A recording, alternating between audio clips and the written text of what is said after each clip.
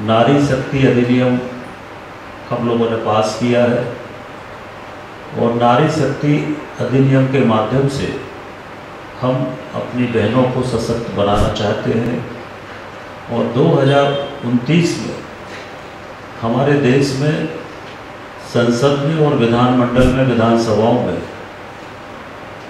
33 प्रतिशत आरक्षण हमारी बहनों के लिए इन संस्थाओं में लागू किया जाए। हम लोगों ने किसान सम्मान निधि यथावत रखी है। ये दो तक जारी रहेगी। और एक बहुत ही अच्छी नई योजना हमारे संकल्प पत्र में है, जिसमें पीएम सूर्य योजना। इस पीएम सूर्य योजना के माध्यम से निशुल्क बिजली 300 यूनिट तक की निशुल्क बिजली हर परिवार को उपलब्ध होगी। इसके दो लाभ होंगे। महाकाल एंड श्रीनिवास कंस्ट्रक्शन रेता गिट्टी ईंट कंक्रीट पंप मुरम सप्लायर सभी प्रकार की कंस्ट्रक्शन मशीनें उपकरण वाहन किराए पर उपलब्ध है। आयुष्मान योजना जो दुनिया की स्वास्थ्य की सबसे बड़ी योजना है इसमें अब हम लोगों ने निर्णय लिया है कि 70 वर्ष से ऊपर के जो बुज़ुर्ग हैं, उन बुज़ुर्गों को भी हम लोग इस योजना में जोड़ेंगे। किसानों की एमएसपी पर समय समय पर हम लोग वृद्धि करेंगे। इसके साथ जो मुद्रा योजना हम लोगों ने प्रारंभ की है, उसमें लोन की सीमा हम लोगों ने 10 से बढ़ाकर 20 लाख कर दी, जिसमें सरकार की गारंटी है। इसके साथ साथ आधुनिक सड़क नेटवर्क, रेल नेटवर्क इलेक्ट्रिक वाहनों के चार्जिंग स्टेशन नए हवाई अड्डे और किफ़ायती 5G और 6G टेक्नोलॉजी पर आधारित टेक्नोलॉजी को आगे बढ़ाने का काम हमारे संकल्प पत्र में होगा।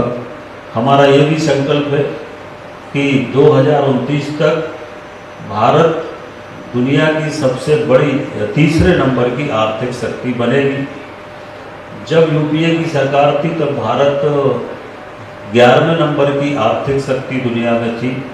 आज भारत पाँचवें नंबर की शक्ति आर्थिक क्षेत्र में हम लोग पाँचवें नंबर पे हैं, ग्यारह से घट के पाँच पे आए हैं।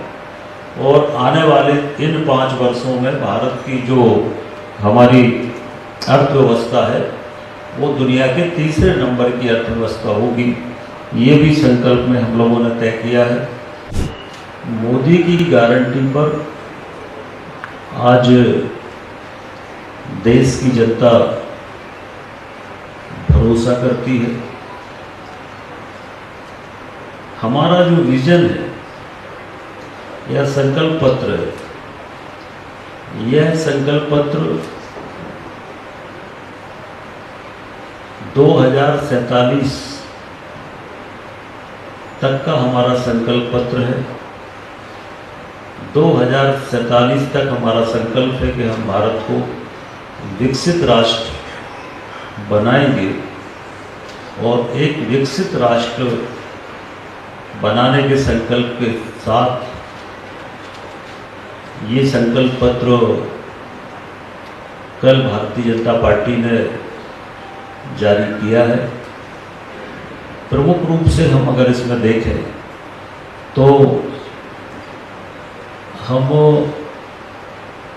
तीन करोड़ नए आवास इन पाँच वर्षों में गरीबों को बनाकर देने का हमारा संकल्प है।